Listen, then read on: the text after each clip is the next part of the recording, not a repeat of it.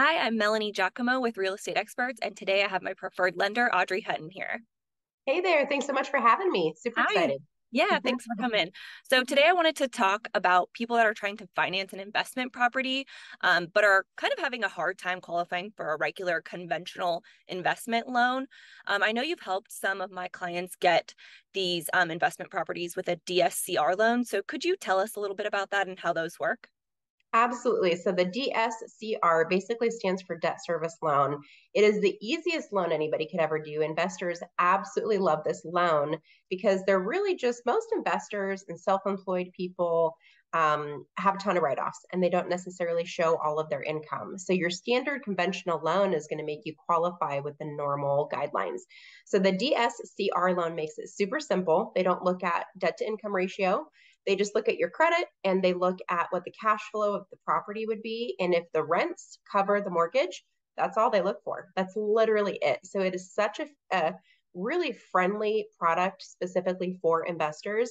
And you have so many people that are catching on to the Airbnb game or or just the luxury second rental um, is for the short term rental. And this is perfect for that because people that are using a rental property for a normal monthly rent or long term, if you have a, a 12 month lease, you can get so much more for your rent if you're doing a short term with Airbnb. And hands down, I have never seen a short term rental not cover the mortgage payment, even with rates condition current market conditions. And so it's such a great program to kind of help keep everything going with the investors. Yeah it's great. Yeah awesome. So a lot of people say to me well the rate on that loan is a lot higher than um, the regular conventional loan. So is that something that could be refinanced um, in the future? Absolutely. And and i love that question because i'll preface this by saying this is not your your perfect product for somebody that doesn't own a home, right? This is an investor product. This is for savvy investors, or even if you're going to buy a investment home for the first time, they do require for you to own your own primary residence. So we're never going to put anybody in this product, and nobody should do this product unless they do have experience with owning a home, paying a mortgage, that type of thing.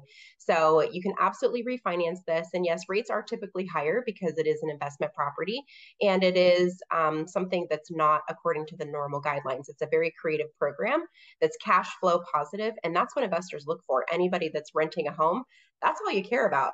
are you making money or are you not? So right. investors are very, very savvy with this program. Yeah.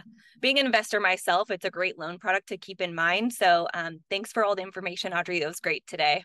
Yeah, absolutely. Thanks. Thank you. I'm Melanie Giacomo with Real Estate Experts, and this is Audrey Hutton with Cross Country Mortgage.